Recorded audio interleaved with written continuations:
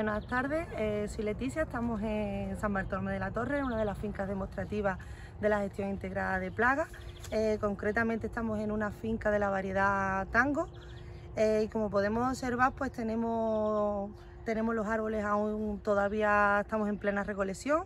Este año con las temperaturas que estamos teniendo, temperaturas un poco, un poco bastante suaves, combinadas con, humedades y un poco más frías por la noche, pues están haciendo que los árboles hayan entrado un poco antes en floración. Eh, debido a la, a la entrada de fruta, de, en este caso del extranjero, pues nuestras cosechas se están viendo un poco perjudicadas eh, por lo que se están, estamos tardando un poquito más en, las recolecciones, se están atrasando un poquito más. por eso es que ahora mismo tengamos eh, floración y, todavía fruta en, el árbol, cuando a lo mejor en campañas anteriores, pues ya por esta época, pues tendríamos toda la, parcela recolectada. Eh, como podemos observar, tenemos fruta en embero ya a punto de recolectar y a la vez también tenemos botones florales o flor abierta. Eh, todo esto, como he dicho antes, un poco debido también a los cambios estos que hemos tenido de, temperatura y en las últimas semanas estamos teniendo temperaturas de 24, 25 grados y todo, eso hace que el árbol se encuentre como en una primavera avanzada y, entre un poco más en, floración. Pues la fecha en la que estamos, eh, que es más o menos final de marzo, eh, podemos hablar sobre algunas plagas que encontramos ahora mismo en el campo. Eh, por ejemplo, podemos hablar de la araña parda, que todavía podemos encontrar algunos foquitos dispersos. Eh, podemos hablar un poco de cotoné, que tampoco nos ha abandonado en, todo el periodo invernal. Eh, y lo encontramos a lo mejor refugiado en el ombligo de algunas naranjas, en las piñas de alguna mandarina de mediana estación, como en el caso de, la tango. También podemos hablar del purgón, que está muy presente ahora en las nuevas brotaciones, colonizando eh, tanto flor como hojas nuevas. Y también podemos hablar de mosca blanca. La mosca blanca está, mm, vuelve ahora, estamos volviendo a ver pequeñas puestas de mosca blanca, por lo tanto tenemos que seguir haciendo el seguimiento. Eh, también comentar que ahora con la aparición de brotes nuevos eh, estamos viendo algo de presencia de chinche verde. y, en relación a las temperaturas, comentar que el piojo rojo posiblemente se va un poquito adelantado con respecto a campañas anteriores debido a estas temperaturas que estamos teniendo.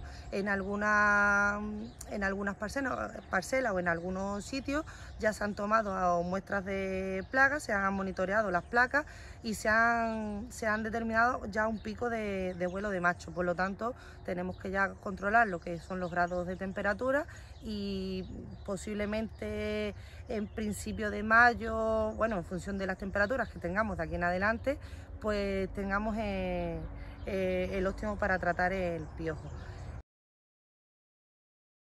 Para el tema de araña roja, pues ya es una, son fechas ahora mismo donde podemos empezar a realizar la suelta. Eh, sueltas de californico, de persimili, dependiendo de las parcelas dependiendo de la variedad, pues un bichito u otro se puede adaptar mejor o peor. Eh, nosotros comenzamos ahora por esta fecha, ya que estamos teniendo unas condiciones climáticas bastante idóneas, eh, comenzamos a realizar las primeras sueltas de califórnico para que el bichito se vaya adaptando y poquito a poco cuando la plaga de araña mm, salga un poquito y vaya un poquito más adelantada, pues tengamos un buen porcentaje de, de californicus en la finca y puedan, y puedan estar siempre por encima de la plaga, controlando. En el caso de la mosca blanca eh, podemos realizar sueltas de Swisky, que también es un ambliseu que controla bastante bien esa plaga. En el caso del cotoné, comenta que se, podemos, que se pueden realizar sueltas de Cristolemus y Anagiru. Eh, hay veces que se ven perfectamente en la finca, cómo se van adaptando y desarrollando, y hay otras veces que, bueno, no lo vemos tan directamente, pero vemos cómo está trabajando. Si vemos que, bueno, que hay bastante presencia de parasitismo y, focos limpios de, de, cotoné, pues señal de que tanto el anagiru está trabajando, se ha adaptado y está trabajando, y el Cristolemus, pues igualmente.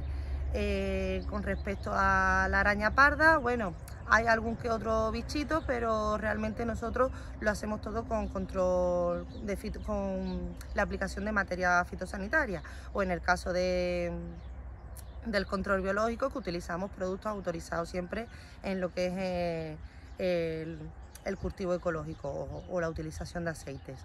Eh, por lo demás, el piojo, pues igual, esperar que llegue su momento óptimo de, tratamiento y aplicarlo siempre con productos autorizados. Para el control del pulgón, pues también en, el, caso de, las parcelas en ecológico, pues realizamos suertas de, de Orius, de Colemani, de, mm, en este caso también de crisopas también se puede realizar, eh, o en el caso de parcelas en convencional, siempre eh, utilizaremos tratamientos de productos fitosanitarios siempre que estén autorizados para dicha plaga.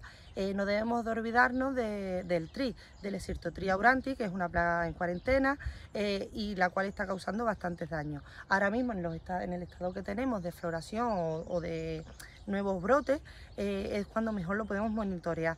No debemos de olvidar que siempre antes de realizar suertas o tratamientos para combatir una plaga tenemos que hacer previamente un buen monitoreo, sobre todo cuando estamos realizando suertas de control biológico para ver que esas suertas se están instalando, se están desarrollando bien y siempre y que siempre vamos por un poco mm, mm, quizás aunque no vayamos por encima de la, de la plaga, pero siempre muy cerca y que no se nos vaya a porcentajes muy altos de daño.